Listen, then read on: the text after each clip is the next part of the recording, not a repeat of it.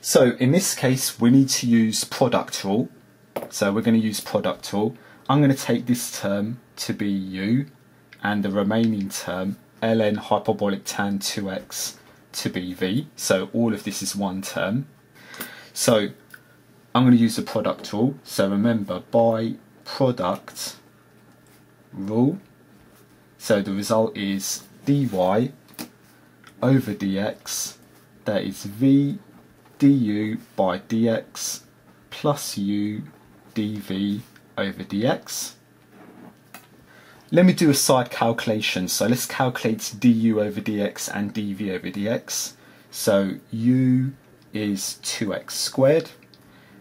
du by dx, so when I differentiate, when I differentiate 2x squared, that is 4x.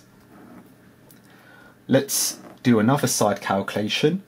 So v is ln hyperbolic tan 2x. Let me calculate dv over dx. So if I differentiate ln hyperbolic tan 2x, it's 1 over hyperbolic tan 2x multiplied by the derivative of hyperbolic tan 2x. So be careful when you work out the derivative of that function. Remember, when we differentiate hyperbolic tan, it's hyperbolic sec squared. So it's hyperbolic sec squared 2x. But you need to multiply by the derivative of 2x, which is 2. So that follows the chain rule. So just to continue, dv over dx, if we simplify, 2 times hyperbolic sec squared 2x times 1 is 2 hyperbolic sec squared 2x and divided by, not forgettingly, hyperbolic tan 2x. So this is dv over dx.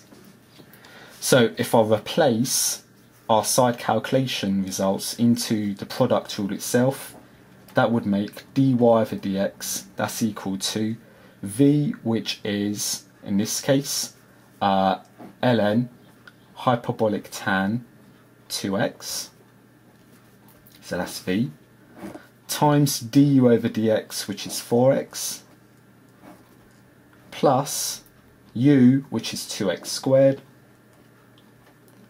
times dv over dx, which is 2 hyperbolic sec squared 2x divided by hyperbolic tan 2x.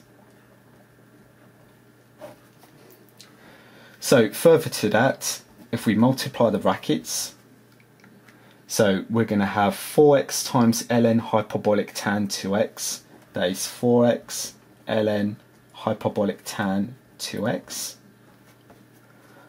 plus 2 times 2x squared is 4x squared, hyperbolic sec squared 2x over hyperbolic tan 2x.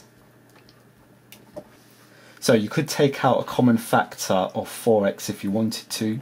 So dy over dx will be taking out a common factor, okay, of 4x should give you ln hyperbolic tan 2x plus x hyperbolic sec squared 2x divided by hyperbolic tan 2x. So that should be uh, the solution.